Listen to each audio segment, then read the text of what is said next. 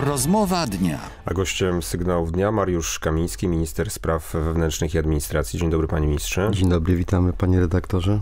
Panie ministrze, wczoraj minął dokładnie tydzień od momentu, kiedy podjął pan decyzję o wzmocnieniu mm, kontroli granicznych na granicach polsko-słowackich. Jaki jest y, bilans tego tygodnia? Pan też mm, mu zapowiadał, że w zależności od tego, jak będzie się sytuacja rozwijała, rozważa pan też przedłużenie tych kontroli.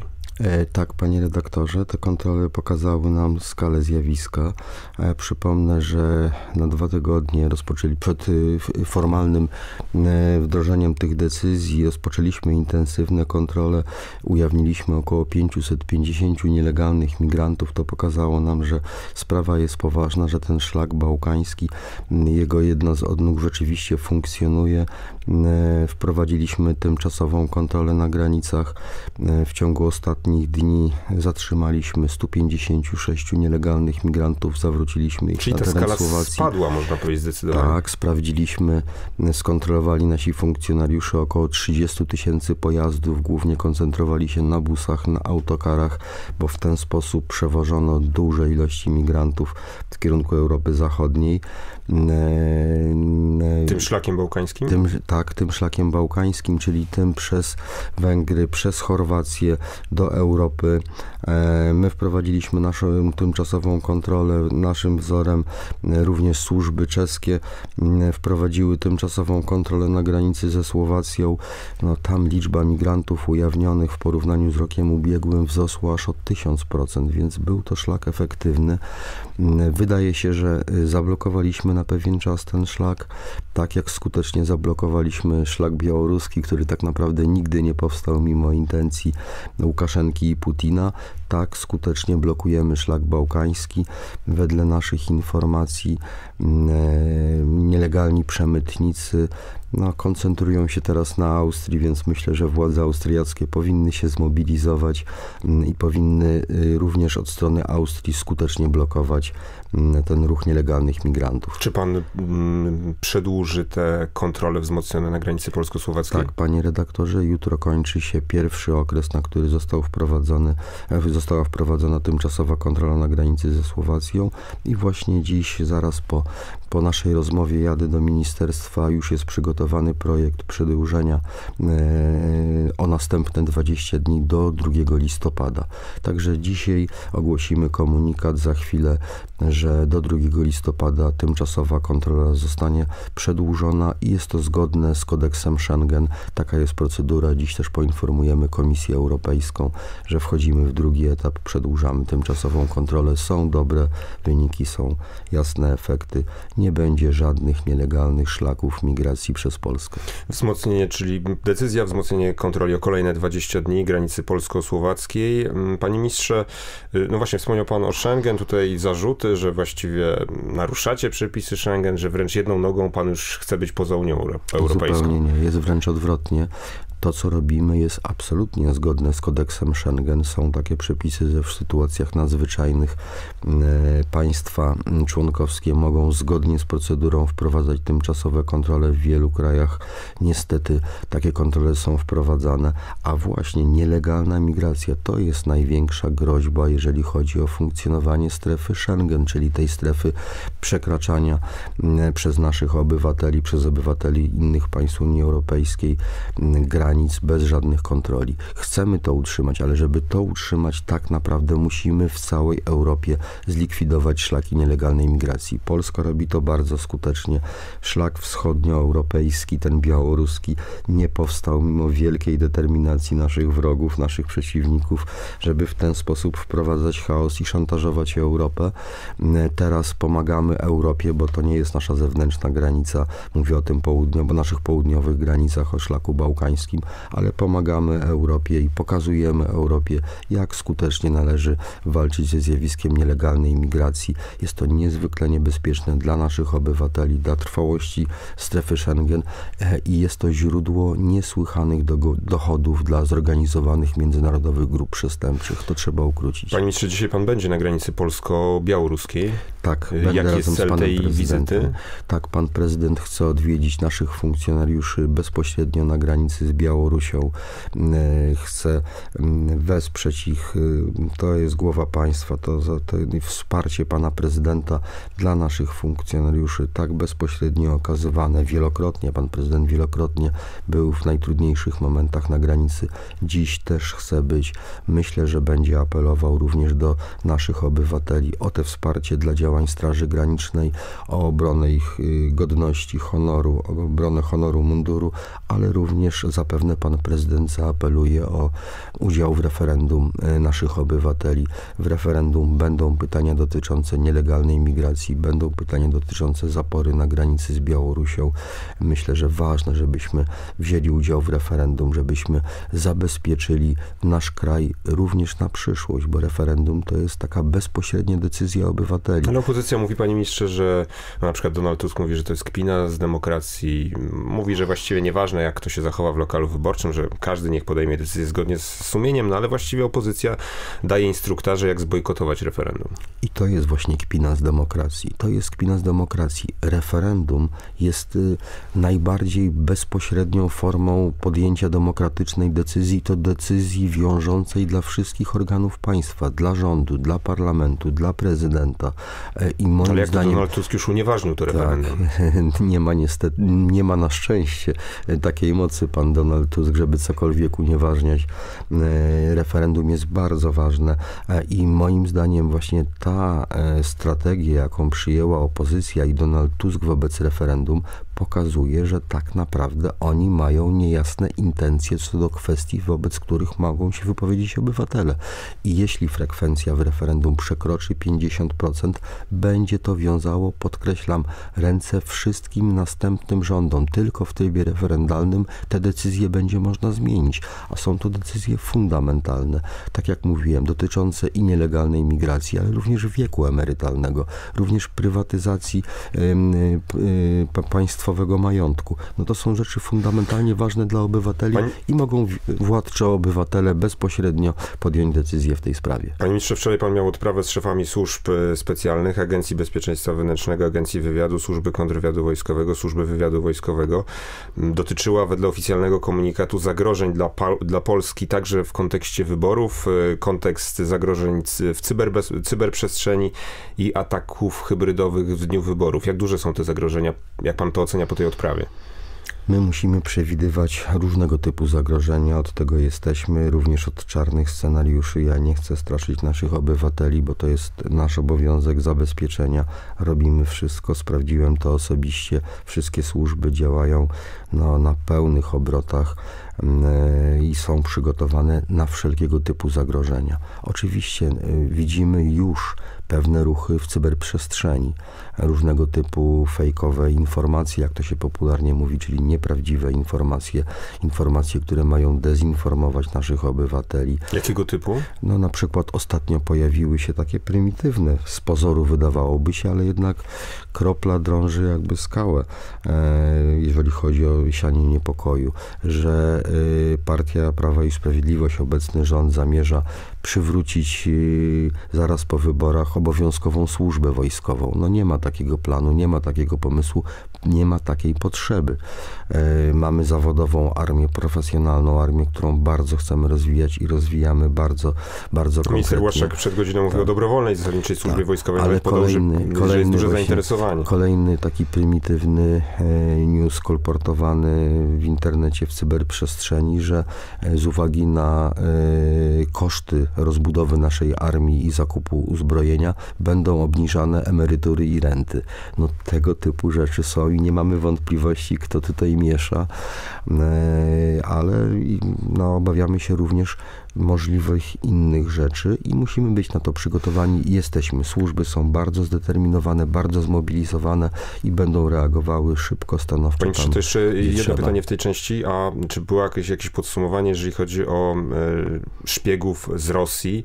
E, czy może pan powiedzieć, ilu takich szpiegów w ostatnich latach w Polsce było i co z nimi się stało?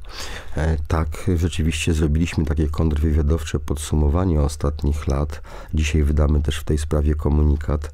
E, mm, Bardzo proste liczby. E, jeżeli chodzi o 8 lat naszych rządów, zostało aresztowanych 46 rosyjskich i białoruskich szpiegów, a 55 szpiegów Y, będących w naszym kraju pod przykryciem dyplomatycznym, mających immunitet dyplomatycznych, zostało wydalonych. Czyli to jest cyfra zneutralizowanych szpiegów 101, w tym 46 aresztowanych. Jeżeli chodzi o poprzedników naszych, oni przez 8 lat zatrzymali 11 szpiegów, a 7 wydalili, czyli 101 do 18. Można powiedzieć, tak wygląda e, rzeczywista działalność dotycząca zwalczania agentury rosyjskiej na terenie naszego kraju. Do tego wątku jeszcze wrócimy. Mariusz Kamiński, minister spraw wewnętrznych i administracji jest gościem sygnałów dnia. Słuchaczom dziękujemy. Przechodzimy na portal Polskiego Radia i do mediów społecznościowych Radiowej Jedynki. Panie ministrze, to w świetle tych danych, które pan podał, e, no ktoś może powie, że po prostu skala działań, czy infiltracja, czy próby infiltracji rosyjskich szpiegów po prostu zostały wzmożone w okresie waszych rządów. Skuteczność działań została przede wszystkim wzmożona. Symbolicznie to było też przedmiotem y, debaty publicznej, ale y, w 2012 roku kontrwywiad wojskowy podpisał umowę o współpracy z Federalną Służbą Bezpieczeństwa, czyli z dawnym KGB no to jest niesłychana umowa, a jednocześnie pokazuje, że tak naprawdę w tamtym czasie ta walka z agenturą rosyjską była pozorowana e, i efekty były bardzo słabe. Nasze służby od samego początku dostały twarde zadanie. Rzeczywistym zagrożeniem dla naszego państwa, dla bezpieczeństwa naszego państwa są Rosjanie. No, Panie ministrze, pan wspomniał o tej współpracy, o tej umowie Federalnej Służby Bezpieczeństwa, rosyjskiej służby z, z kontrwywiadem, służbą kontrwywiadu wojskowego w okresie rządów PO-PSL.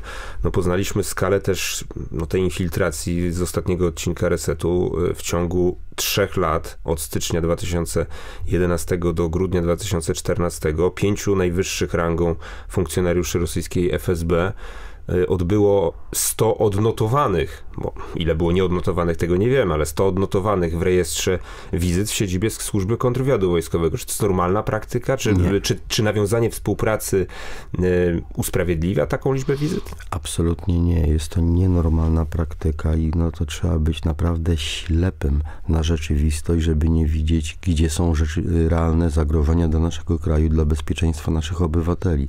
Mówiąc skrótowo, Rosja. Rosja zawsze stanowiło źródło, podstawowe źródło e, zagrożeń dla bezpieczeństwa Polski e, i e, te wizyty, te spotkania są niewytłumaczalne, nieracjonalne całkowicie.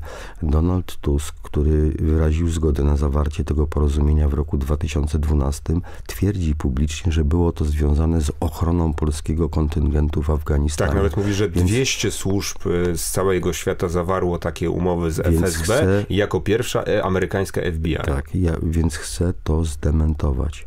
My wiemy hasłowo, bo jakieś bardzo lakoniczne notatki po większości z tych rozmów zostały i w żadnej z tych notatek sporządzonych przez ówczesnych szefów tych służb nie ma informacji na temat tego, że rozmowy dotyczyły polskiego kontyngentu w Afganistanie. Rozmawiano o różnych rzeczach.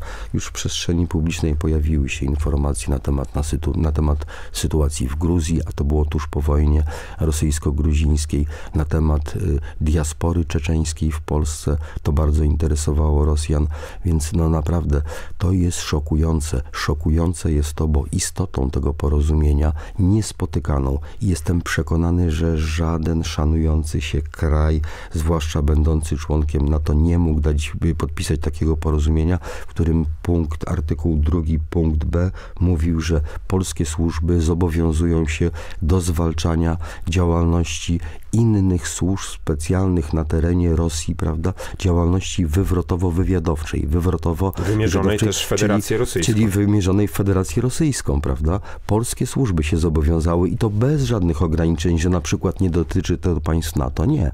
Każda służba, która prowadzi na terenie Rosji, wrogą Rosji działalność, miała być y, zwalczana przy udziale polskich służb specjalnych. Taką deklarację pisemną złożyli y, ówcześni szefowie SKW, a Donald Tusk jako premier premier wyraził na to zgodę. Panie ministrze, to pan jednoznacznie dementuje i zaprzecza słowom Donalda Tuska, że celem zawarcia umowy pomiędzy rosyjską Federalną Służbą Bezpieczeństwa a polską Służbą Kontrwywiadu Wojskowego była misja ewakuacji z Afganistanu naszych, naszych funkcjonariuszy. Ani w umowie nie ma słowa na ten temat, absolutnie. Nawet jedno słowo nie odnosi się do misji polskiej w Afganistanie. W ogóle nie pada słowo Afganistan w samej treści umowy, a w, y, kilkanaście rozmów, jakie odbywali w tym czasie, tuż przed i tuż po, y, szefowie SKW z przedstawicielami dawnego KGB, czyli FSB, y, nie ma wzmianki, że ten temat był poruszany.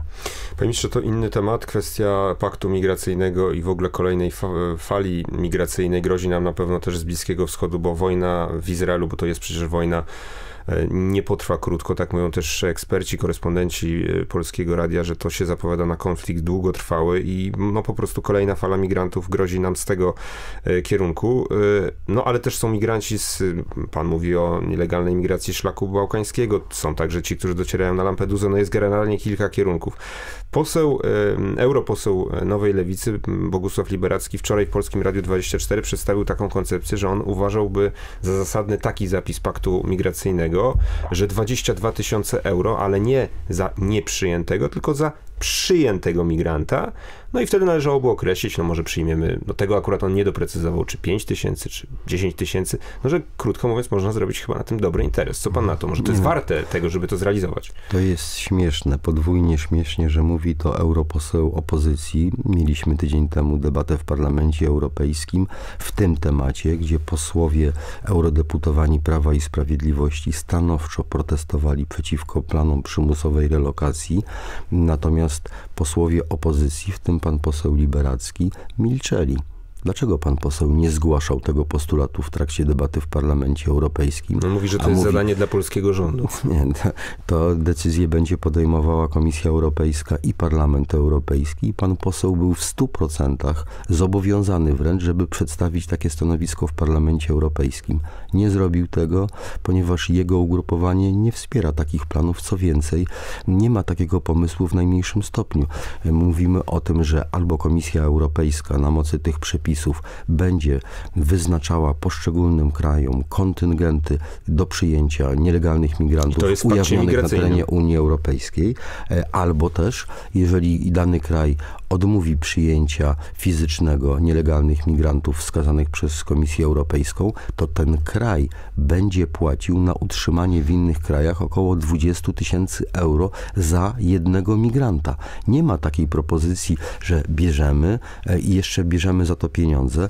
Nie, nie, ale poza tym to jest nonsens. To jest nonsens, panie eurodeputowany, a pana obowiązkiem jako eurodeputowanego, jeżeli ma pan taki pogląd, było go przedstawienie tydzień temu w Parlamencie Europejskim, gdzie pan milczał i pana koledzy z opozycji, z Platformy, z Lewicy milczeli. Panie ministrze, to jeszcze jeden, jeden wątek, bo słyszę też polityków opozycji, na przykład też wczoraj na antenie Polskiego Radia 24 mówił o tym senator Krzysztof Kwiatkowski, który startuje z, z paktu opozycyjnego, paktu senackiego. Mówił o tym, że tylko grozicie, nie ma żadnego niebezpieczeństwa narzucania, nie będzie żadnej przymusowej e, relokacji, dlatego że Polska przyjęła, przewinęło się przez Polskę 3,5 miliona uchodźców, bo to byli uchodźcy z, z Ukrainy i w związku z tym Polska będzie miała na pewno taryfę ulgową. Nic nie ma na pewno i nie ma żadnych jednoznacznych zapisów w tej sprawie. Rzeczywiście bardzo ważne jest to, żeby podkreślać, że są uchodźcy wojenni, na przykład właśnie z Ukrainy, którzy rzeczywiście uciekają do pierwszego bezpiecznego państwa, jakim była Polska i Unia Europejska, jakim jest dla nich, którzy uciekają przed bombami, przed rakietami rosyjskimi, przed śmiercią, przed mordowaniem cywilów. Czym innym są nielegalni migranci z Bliskiego Wschodu, z Afryki, którzy tylko i wyłącznie chcą poprawić swoją sytuację ekonomiczną. E, także to są dwie różne kategorie. E, absolutnie te przepisy, które przygotowała e, Komisja Europejska, które są procedowane i dyskutowane w Parlamencie Europejskim, nie zakładają w tej sprawie żadnego automatyzmu. To nie jest tak, że my powiemy, że przyjęliśmy na przykład milion uchodźców z Ukrainy, i przepis konkretny e, zwalnia nas w tym momencie od przymusowej relokacji. Nie ma. nie ma. Jest oczywiście teoretycznie potencjalna możliwość negocjowania i jeśli będziemy zmuszeni, jeżeli sytuacja tak się rozwinie, mam nadzieję, że nie, że uda się skutecznie zablokować ten pakt migracyjny, to oczywiście będziemy tego argumentu używali, bo jesteśmy ludźmi rozsądnymi. Panie Natomiast to... absolutnie nie ma tu żadnego automatyzmu i to jest oszukiwanie też opinii publicznej, że przepisy przygotowane przewidziały taką sytuację z automatu, prawda? Macie milion uchodźców, to was nie dotyczy przymusowa relokacja. Nie, przymusowa relokacja i tak zwana przymusowa solidarność, czyli płacenie, jeżeli nie przyjmujemy migrantów, jest obowiązkowe. To ostatnie pytanie. Y, komendant główny policji Szwecji, Anders Thornberg, powiedział, że ostatni miesiąc był najgorszy w historii nowożytnej Szwecji. 12 e, osób e, zabitych, 5 rannych, około 50 aktów e, przemocy. No ale Szwecja nie zaostrza swojej polityki w kontekście migracyjnym, mimo że przyznaje się do błędów. Nie zaostrza także nawet Giorgia Meloni, premier Włoch, która rozważała używanie marynarki wojennej do odwożenia nielegalnych migrantów. Dlaczego te kraje nie zaostrzają, Pana zdaniem, tej swojej polityki, swoich działań? No, jest to samobójcze. To w dużej mierze, jeżeli chodzi o tę bierność dużej części państw europejskich wobec problemu migracji, ona wynika po prostu z przyczyn ideologicznych. Oni mają związane ręce. Przez lata prowadzili politykę bardzo liberalną, przyciągającą kolejne fale nielegalnej migracji. Ten Herzlich Willkommen, prawda, symboliczne pani Angeli Merkel wypowiedziane swego czasu, czyli te serdeczne powitania dla dla kolejnych nielegalnych migrantów. Czyli chce pan, panie ministrze, powiedzieć, że gdyby oni teraz powiedzieli, że musimy zaostrzyć, że w ogóle to były fatalne błędy, to byliby skończeni politycznie, dlatego tego nie mogą zrobić? Część tych środowisk tak, zdecydowanie tak. E, tak to wygląda. Natomiast jeżeli chodzi o panią Meloni, czy nowych przywódców europejskich, my wiążemy nadzieję. Oni mają bardzo trudną w tej chwili sytuację we Włoszech, no, symboliczna Lampedusa, prawda? Mm, czyli te tłumy potworne, które trafiają tam e, potwornych ilościach trafiają właśnie e, w sposób całkowicie niekontrolowany na terytorium Włoch, powodują, że ona szuka teraz na razie doraźnych rozwiązań.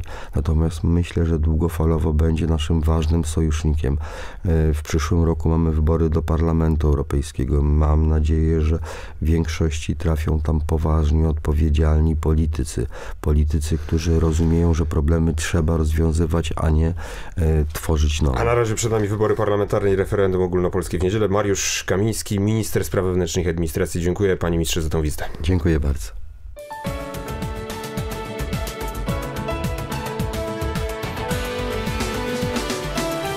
Była to rozmowa dnia. Udostępnij ją portal informacyjny polskieradio.pl.